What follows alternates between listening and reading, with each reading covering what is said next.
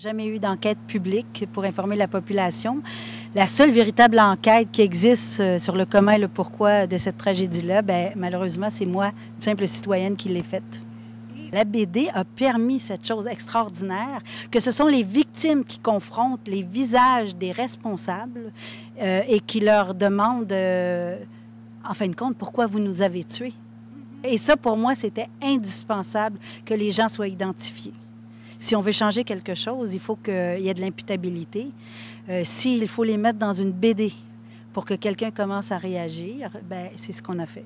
La première double planche qui a été créée, c'est celle où on voit Cathy chanter, Cathy Clusio, qui fait, en fait, euh, je, je, voulais, dès le départ, je voulais montrer les responsables. J'avais mis des responsables en bas avec leur discours.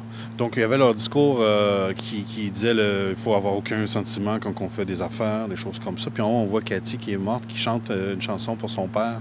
Donc, je vais montrer toute l'indécence qu'il y avait entre euh, les gens qui se faisaient face, en fait, les, les, victimes et les responsables. Les gens sont révoltés quand ils finissent de lire la bande dessinée. C'est pas pour rien, parce qu'il y a une...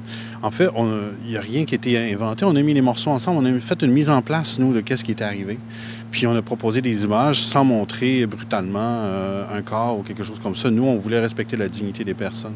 Je pense que c'est un livre coup-point. J'espère que ce sera aussi un livre copié au cul à certains. C'est vraiment ce que je souhaite.